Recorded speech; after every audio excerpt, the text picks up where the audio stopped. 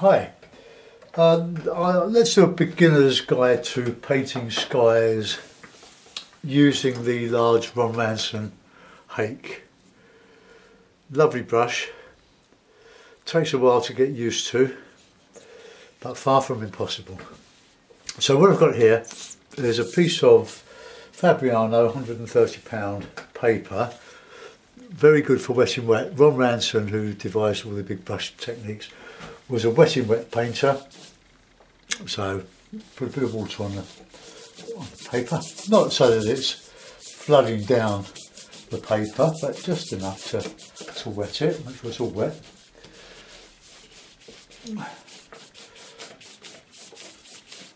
I always start with wetting wet. You can dry it as you go so that you can do other techniques with, with the dry paper.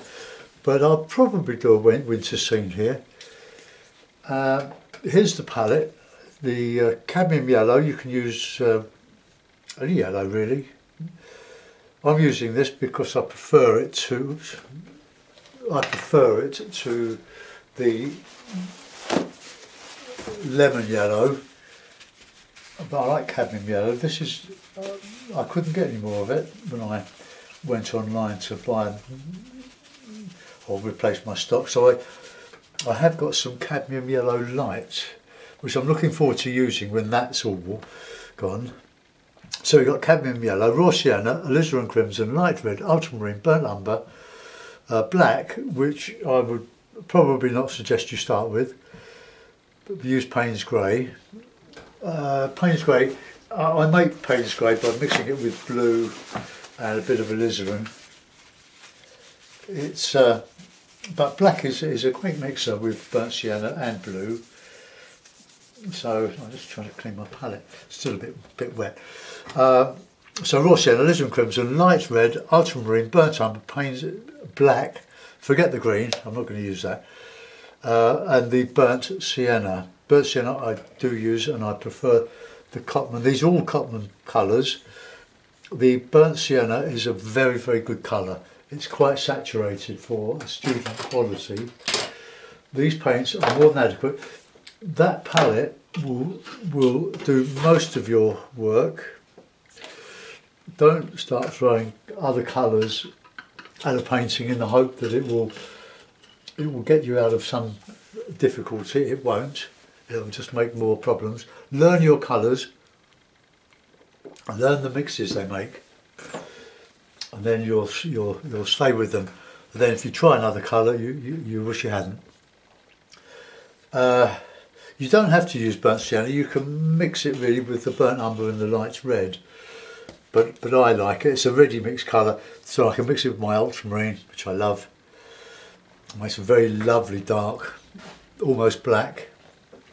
So uh, let's warm the sky up with some colour. So we'll use a bit of bit of raw sienna. Just put it on. Just it all over there. This all dries much lighter than when you put it in. Put it on first. At first, it, you'll be surprised. Now, a good a good uh, colour to put in at this stage would be some ultramarine. You don't have to, but it just gives that bit of bit of bit of blue in the sky.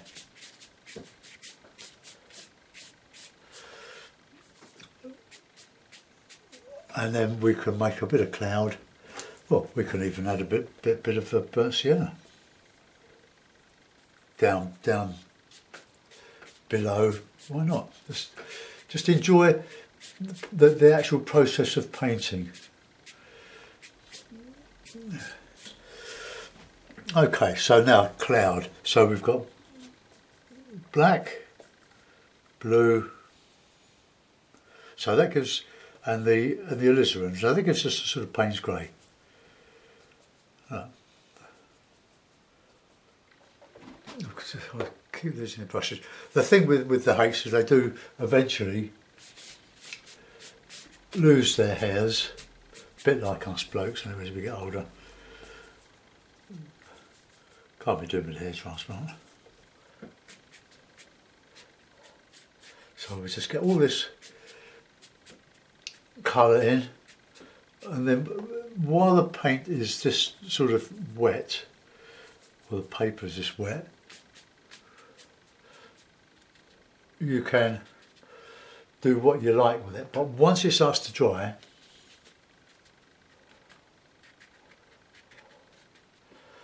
then you leave it alone.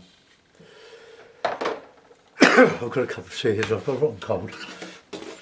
But so have most other people at this time of year.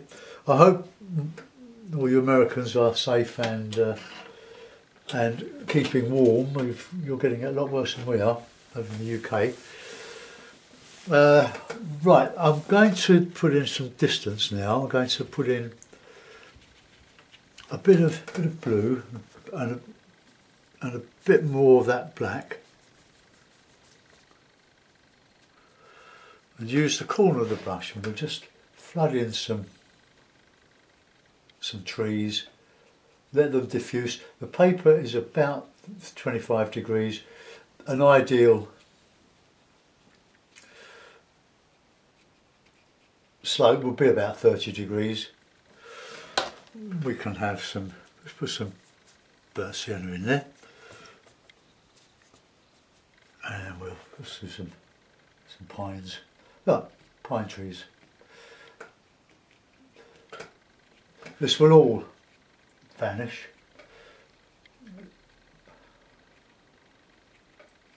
And then we can go over it as it dries. Well, remember that the trees are, pine trees are, still green, bluey green. And when you paint over wet surfaces, you need thicker paint. Otherwise it will all just vanish into, into nothingness.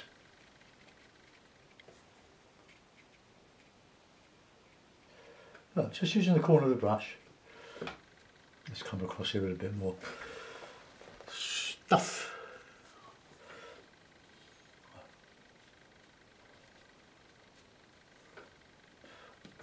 Different trees. Oh, when your brush splits, just bring it together again with some water. And then we'll just do some some of these. See that this brush does split, I must say. It's a not a very well behaved brush.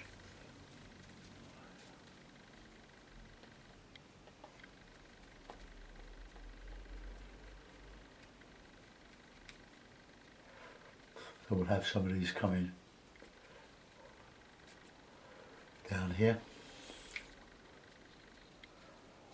Oh, simple as that. Got your pines. Some go up, some go down.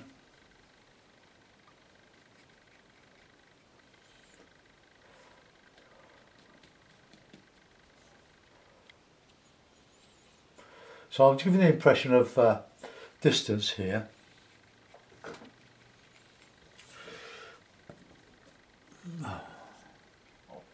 Put a bit of warm in there. I don't know why.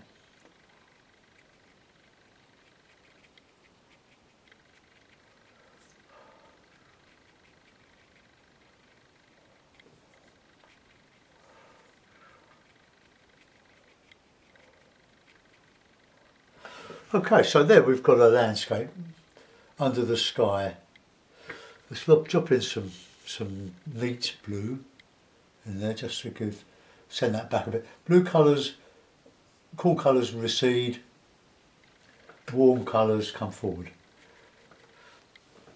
Okay.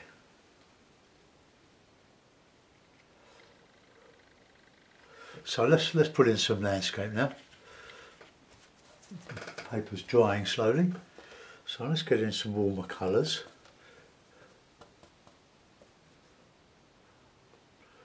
Puis le vent, mais ça peut le vent peut venir. Le pire pleut.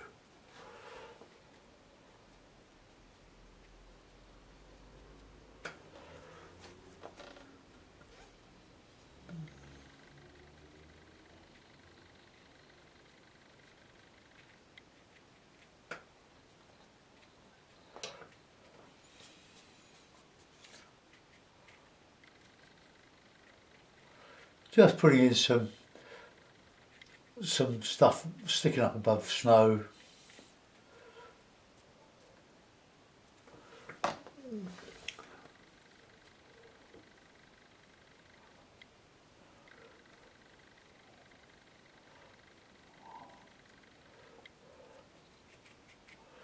Don't want too much of this.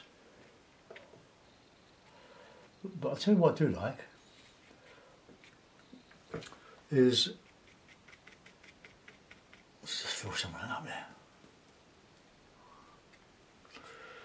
Is um, some like water pond or something which would show a bit, bit of black reflecting dark brooding sky. So we'll do some of that I think. Okay, right now that's still a little bit damp down there, so I'm going to dry that with a, hairdryer. So take your headphones off or fast forward, go. Oh, turn on.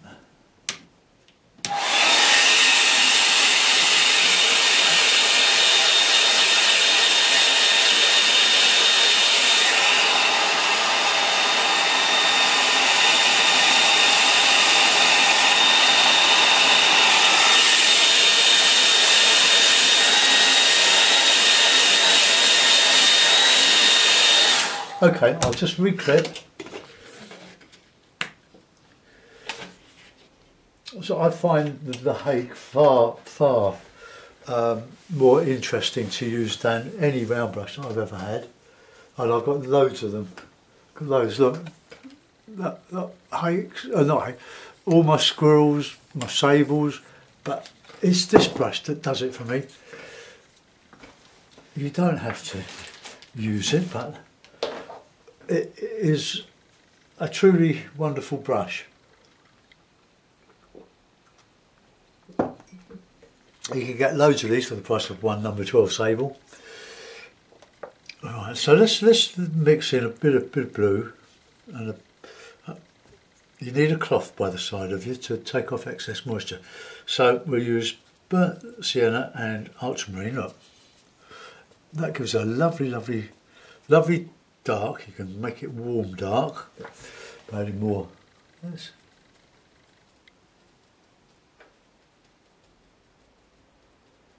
Pond. I, I did one earlier like this.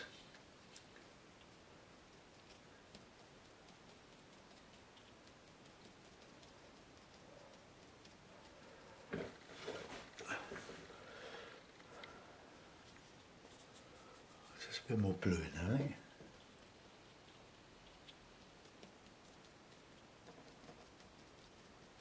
a bit of frost on.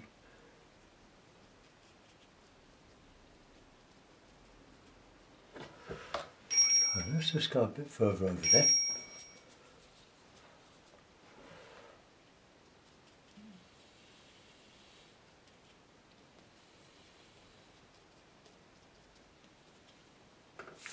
Now that's an interesting bit, let's pop it in there.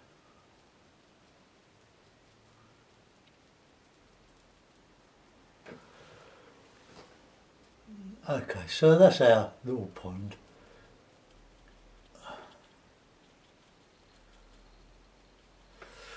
Okay, now we're putting some blue grasses sticking up above. Got to put some shadows in here and there.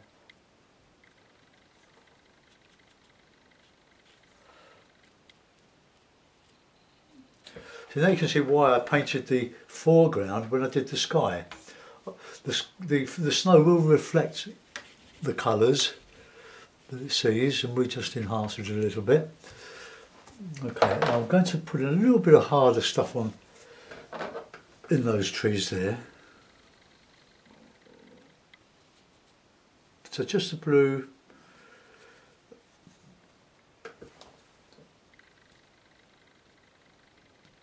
just just a couple, well, a few dozen.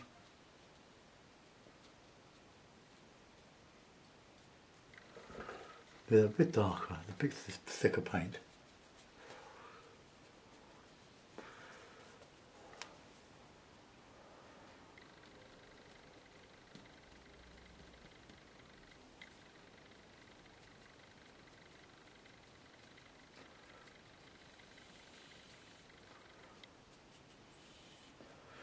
Detail in there. It's only an impression of detail. Uh, you can see how easy it is really. It's when you start naming things and, and painting portraits of things that it all starts to go away from you. Do an impression. There are plenty of people who copy and do it far better than I can. But that's not what big brush watercolour painting is all about. It's all about freshness and spontaneity, making things up as you go along, enjoying the process of painting. As long as you get the basics right, like the colour recession, aerial procession, perspective. Okay. That's about it really. It's, uh, now we'll do some shadows, just, just plain blue.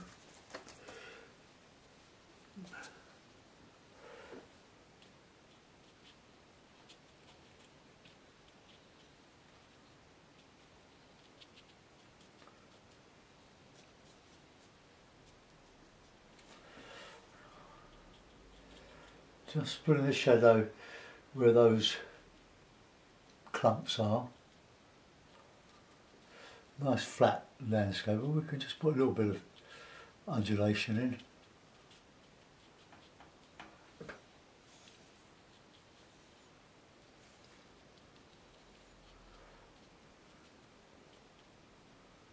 Okay, so there we are. That'll do. That's a quick, a quick beginner's guide to painting skies. so let's see what we've got. I washed it in with the raw sienna to start with. And then I added some warmer burnt sienna. Uh, and then I mixed a, a, sky colour, a cloud colour from black, alizarin and a bit of ultramarine. But you, if you're going to use uh, Payne's Grey, you can mix that with the ultra with the alizarin straight away and that gives you a realistic uh, cloud colour. And I just added a few here and there while the paper was wet. It's critical. And while it was wet I, I, did, I put the background in so I got all this nice diffuse blue blueness. And as it as it dried it was able to take a harder edge the, the, what passes for detail. I put in this pond here. Maybe, maybe it should been more blue. But anyway let's put it in a in a mount and we'll have a have a look. It's very similar, but I'm going to I'm going to try and stay with a series of beginners house paintings because it's all right for me to to plough ahead. I'm thinking you know it all, but when you don't, this this, this is quite a okay. Well, let's let's put that on there. So there we are. I've got a nice nice little painting. Let's uh, put a signature on it. I think it's worth it. There we are. You can have a couple of birds if you want.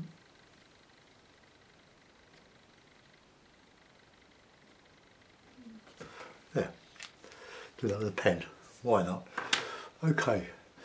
So I hope you enjoyed that. If you want a close up, let's uh, zoom in. Okay. I'm not going to go all around it because I'll have to move the uh, camera and it would uh, shake too much. So have a go at these things. I hope you enjoyed that. Thanks for watching. See you soon. Bye bye.